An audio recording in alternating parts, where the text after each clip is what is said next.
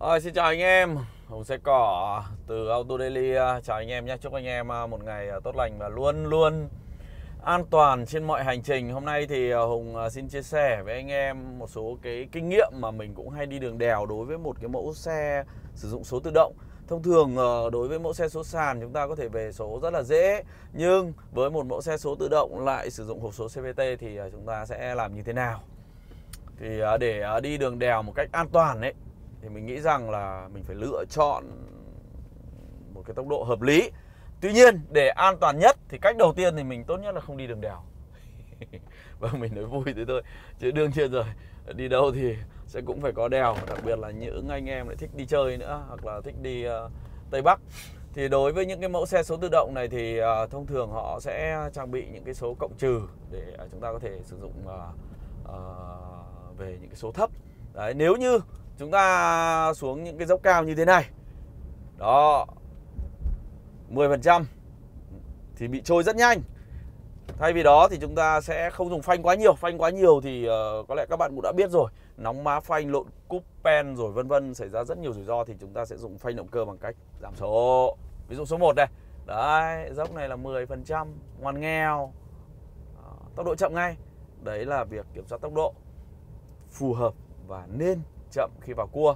Vấn đề thứ hai nếu chúng ta đi nhanh như thế này thấy một con dốc thì chúng ta nên phanh giảm tốc độ. Ngay cả để D cũng không sao nha các bạn. Để D này tốc độ và nhả phanh ra. À, kiểm soát tốc độ. Chậm rãi chậm rãi khi vào cua. Và thưa bạn trong quá trình mà đã ôm cua rồi thì chúng ta hạn chế phanh. Tức là mỗi khúc cua Hùng sẽ chia thành 3 điểm. Đầu tiên là đến cái điểm phanh như thế này. Đó, sẽ phanh và ôm cua tốc độ phù hợp. Chúng ta sẽ phải ôm cua một tốc độ phù hợp. Và khi qua cái đỉnh của góc cua rồi thì bạn có thể tăng tốc một cách thoải mái. Đó. đấy là về uh, việc xử lý tốc độ và góc lái.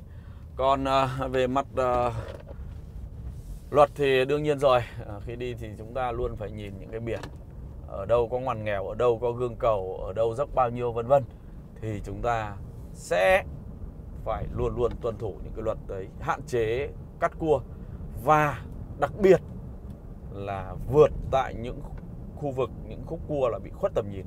Rất rất nguy hiểm thưa bạn. Cực kỳ nguy hiểm luôn. À, đây là những ờ, đường lên Ba Vì thôi nhưng mà đường lên Tây Bắc thì ờ, hoặc là Đông Bắc Hà Giang Đồng Văn Lũng Cú Mèo Vạc đó, ví dụ đây đây là một con đường tình huống cụ thể nha. Thì chúng ta sẽ có một cái biển. À, khúc cua thì chúng ta hãy chọn một cái tốc độ phù hợp thôi. An toàn. Đôi khi nhanh một phút lại chậm ngàn đời thì thật là đáng tiếc. Đó. tốc độ luôn luôn là vấn đề cực kỳ quan trọng trong kỹ thuật ôm cua. Và thưa các bạn à, cái việc lên lên đèo cũng vậy, leo dốc cũng vậy thôi à, thông thường anh em thường nói sẽ là lên số nào thì xuống số đấy. Cái đó cũng chỉ là tương đối thôi với các dòng xe đời cũ. Còn dòng xe đời mới này cái khả năng tăng tốc nó rất là tốt đặc biệt ở các số cao á. Hoặc là nó sẽ sử dụng những cái cấp số cao để giảm um, mức tiêu thụ nhiên liệu. Chính vì vậy uh, cho nên là quan điểm của mình là phải lựa chọn tốc độ phù hợp. Ví dụ đường dốc này. À, ù tai luôn nhá. Thì chọn tốc độ phù hợp. Bắt đầu ôm cua nhẹ nhàng thôi. Còn nếu như mà nó dốc quá thì chúng ta sử dụng thêm cái số này à, số 2 để đổ. À, êm mượt mượt. À. và hãy đi đúng làn đường nha các bạn. Luôn luôn đúng làn đường. Đó là điều rất là quan trọng. Cua tròn. À, đánh lái cua đánh lái nhẹ nhàng. À, thực ra mình có tiếp xúc với những cái anh lái xe ờ, những cái chuyên gia lái xe thì à, anh có một cái câu ví von như này. Các bạn thường nhẹ nhàng với người yêu bạn gái như thế nào thì hãy nhẹ nhàng chiếc xe. Đấy, cua nó rất mềm. Chứ tránh cua như này là chết. Và cua như này thì thì thì cái khả năng trượt xảy ra rất là cao. Nhưng mà ví dụ khi vào cua à, ôm cua này ôm cua rất nhẹ nhàng. À, à, qua đỉnh cua thì bắt đầu mở ra dần. À, nhẹ nhàng nhẹ nhàng. À. chứ nếu mà qua đỉnh cua rồi khi bắn lên mà vẫn còn ôm cua như này tiếc là xe trao đảo. Đến người đứng sau thì cũng phải chớ ra chứ không phải đùa. À, và một trong những cái kinh nghiệm mà khi mà mình uh, đi trên những con đèo Hà Giang đường Tây Bắc mình chạy cũng khá là nhiều rồi suốt 10 năm qua đi không biết bao nhiêu lần nữa. À, đi trong điều kiện sương mù có không có ta luy từ những năm 2006 leo lên đồng văn vèo bạc rất rất nhiều. Thì à, mình cũng xin chia sẻ như thế này trong cái điều kiện sương mù và đường chân trượt chẳng hạn thì chắc chắn rồi bạn phải đi chậm bạn phải đi tốc độ rất chậm. Bởi vì ờ, chỉ một sai sót nhỏ thôi thì bùm vực sâu thăm thẳm rất nguy hiểm. À, và đặc biệt nếu như có những cái xe mà biển địa phương xe tải hoặc là những cái xe biển địa phương thì nhường họ lên trước dẫn đường nhìn hai cái đèn đỏ đít phía sau và cứ thế đi à, bám theo và đi đều nha các bạn đi đều. Uh, giữ khoảng cách an toàn bởi vì với những xe tải thì khả năng tuột dốc rất là cao. Và đặc biệt là đối với những cái con dốc cao dốc gắt thì nếu như chúng ta đã thấy một chiếc xe tải từ xa đang đổ dốc xuống thì với kinh nghiệm của Hùng thì Hùng giảm hẳn tốc độ thậm chí có thể chọn một điểm ừ, rộng rãi phía chi rồi bắt đầu dừng hẳn xe nhường họ đi qua.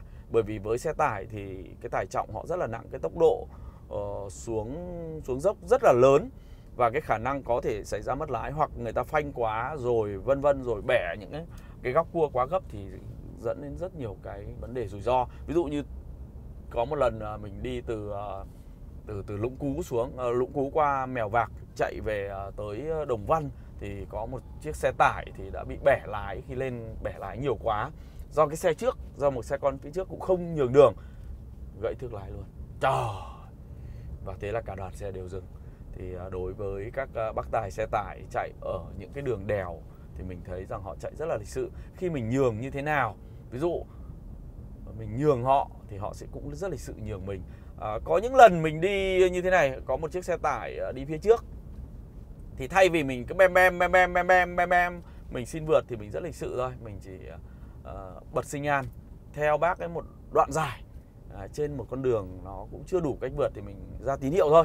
Đến cái lúc mà có một cái mảnh đất bên phải có khu vực trống thì bác ấy tự động tấp lại và mình lại đi tiếp.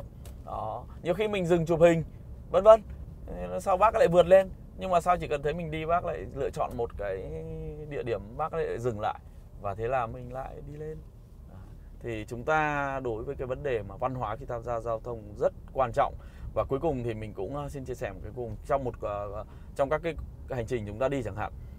Thông thường thì nếu mà gặp xe phía trước mà chúng ta sẵn sàng luôn luôn có cái tinh thần nhường đường thì họ cũng luôn luôn giảm tốc độ và nhường đường. Mình đi mình để ý rất nhiều lần rồi và nếu như mà mình cứ cố mà đè lại đường người ta những xe tải chẳng hạn xe khách thì họ cũng đè cho mình bằng chết thì thôi.